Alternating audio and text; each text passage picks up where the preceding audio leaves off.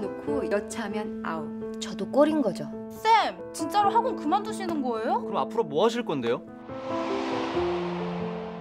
애들은 교실이 왜 그렇게 싫은 걸까? 선생님들은 좋아하나 뭐? 아, 선생은 제자가 있어야 선생이지.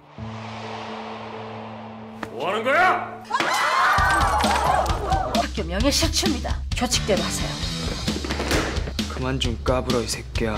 어쩌라고 나보고. 신경 끄시죠. 어? 그러려고. 그놈순 너 이 자식!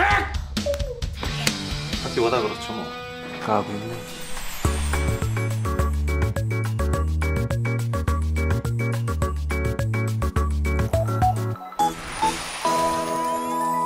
KBS World